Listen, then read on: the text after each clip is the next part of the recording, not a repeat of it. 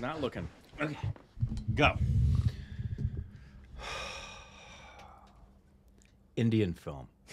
Yes. Okay. Um. Aamir Khan. Yes.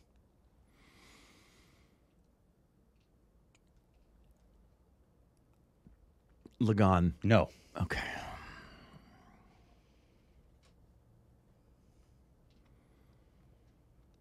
Dil Dhadakne Do. No. Oh, I was sure you'd go that route if I said Aamir Khan. Three Idiots. No. PK. No. Stars. No. Are we gonna be here a long time? Yes.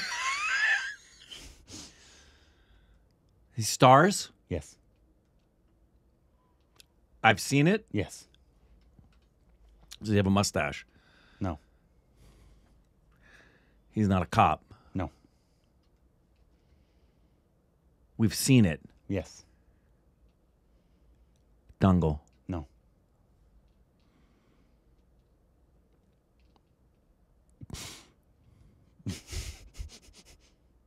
We've seen it. It's a buddy film. Saif Ali Khan. Yes. Shoot, I forgot the name. There's a song, same title. yes, I know. Mm-hmm. Mm-hmm. Also has Akshaye Khanna. I know. That's the three. That's the three buddies. Mm-hmm. It's Akshaye Khanna, Saif Ali Khan, Yes. Aamir Khan. Yes. And we've seen A seen lot of stupid, silly. We have seen it. Dil Chahta Hai.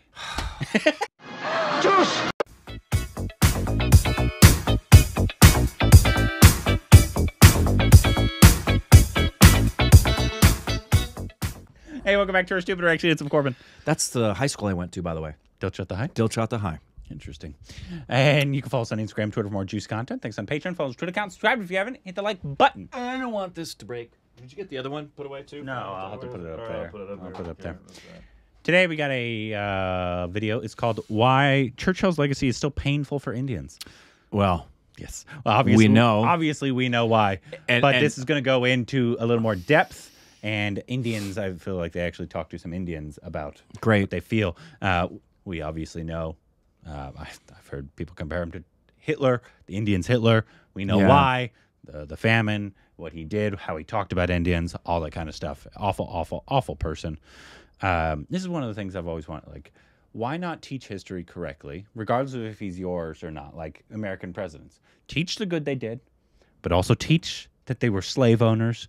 They raped their slaves. The the awful stuff they did. You can still teach the good stuff. It's not like we're all they're here and we're related to them. You can teach people for who they actually were. Churchill saved Britain in World War II, essentially. Mm-hmm. He also murdered millions of Indians. Correct. You can teach both. I agree. I don't it's know- called truth. Yeah, I don't understand why we have to sugarcoat history. Uh, it's because people want to paint pictures uh, so that they can hide their shame. Yeah, I just don't understand it. I was like, why do you? Me have to- too. You're not him. Why do you have to have shame? But I'm re- uh, he's he's part of me, so like that's why the like uh, I don't just I don't don't understand I don't understand it either. Anyways, here I we go. agree with you. In London, he stands tall. For millions here, Winston Churchill is a hero and one of the greatest Britons of all time. But in a colony he once presided over, many point to a dark legacy. Is this the He same? might be an icon in I'll ask at the end. Britain, but in India, he is seen actually as the precipitator of mass killing because of the policies that he advocated and the policies that he followed in Bengal in 1943. Correct. At the heart of the anger against him, a famine in Bengal. It was triggered by a cyclone and flooding. But many blame Winston Churchill and his government for making the situation worse. They did. It's a painful chapter in India's colonial history. Only a few surviving images show the horror of hunger. Those who didn't die in villages went to cities in search of food. Every day, bodies had to be removed from Kolkata's streets. At least 3 million died, more than six times the British Empire's casualties in World War II, raging at the same time. আমরা দেশের লোকরা Chittakumar Shamonto has lived through it. Oh wow. আমাকেও অনাহারে আমার ফ্যামিলিকে কাটাতে হয়েছে এবং কঙ্কাল সার দেহ মানুষের সেই অবস্থা দেখলে ভয় লাগে। একটা মানুষকে দেখলে যে মানুষ না এটা প্রেতাত্মা। খাল পাড় দিয়ে রাস্তায় অনেক ডেড বডি মানে মরা দেহ পড়ে থাকতো কুকুরে টেনে ছিঁড়ে খাচ্ছে শুকুনে ছিঁড়ে খাচ্ছে এরকম। আমাদেরকে ব্রিটিশ সরকার না খেয়ে না খাইয়ে মারার চেষ্টা করেছে। British troops boats were seized or destroyed. Actor Soumitra Chatterjee was eight when the famine struck. Well, I, I, I do wish think Indrani was in here. It is one of the examples of uh, brutality and, um, you know, oppression, exploitation uh, of the British government. I hold the British government responsible for this millions dead and still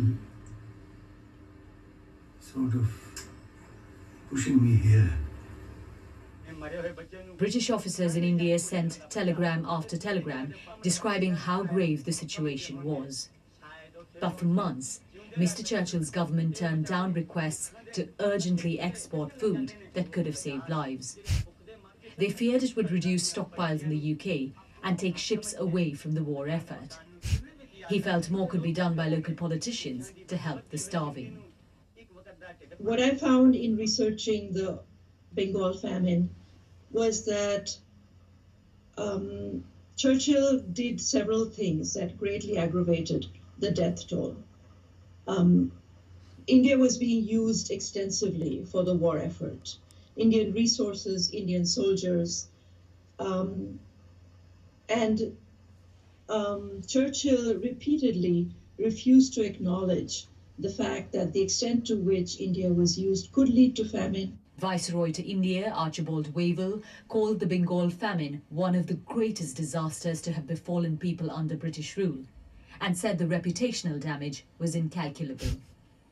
And that's British. During one government They've done a lot of bad stuff. relief, Secretary of State for India Leopold Amery recorded Mr. Churchill saying that any aid sent would be insufficient because Indians bred like rabbits. Yep.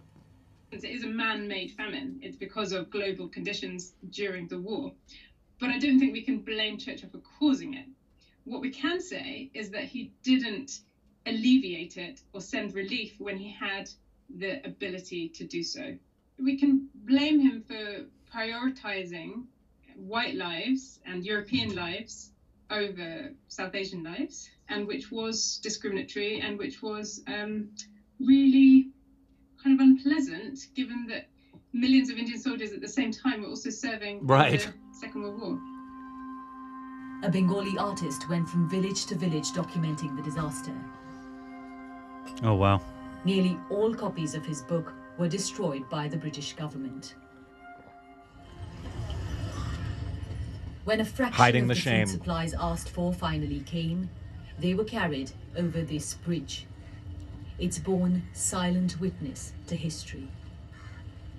Remnants of India's colonial past remain imprinted on it. But do they matter today? At independence, India was a nation born in hunger, some have said, and so immediate priorities trumped any retrospection about British rule. But today, a generation of Indians more confident about our place in the world are questioning why there hasn't been more widespread condemnation of the dark chapters in our colonial history. Judging leaders of the past through the lens of the present might leave the world with no heroes at all. But there's likely to be little progress on equality without accepting the full truth of their lives. Yogita Limaye, BBC News, Mumbai. Why do you need old heroes? That's why. I think Tell history Yeah. correctly. And- And that is all that it's there for. Correct. Is eh, they're not here anymore. They're dead. One of the most beautiful things about film is its capacity and power when done correctly to um it's also a power that gets abused and done in the opposite direction to to tell history as it occurred. It's one of my favorite reasons for touting the the greatness of Schindler's List is because it's accurate and it's a segment of what transpired and you get the feeling for the whole by looking at the, that segment. Sardar Udham as well. Yeah, exactly. Exactly. I would like to see a movie made that had international appeal Actually, that actually represented it the way it was it really transpired. Like to have a film be made and get the kind of accolades that um, Gary Oldman's Churchill got, Mm-hmm. Telling the other side of what was going on at the same time Yeah. and getting that kind of attention, getting Oscar attention, getting international attention, so that people would. I think that's the fastest, easiest, and most powerful way for people to learn the truth is is a motion picture depicting what really transpired. Mm-hmm. Yeah, Absolutely. because I don't know that there is one. Yeah, it's just I, I I know we've seen quite a few films actually already, and I know there are films that take place during the famine and, and the partition Yeah. and stuff like that.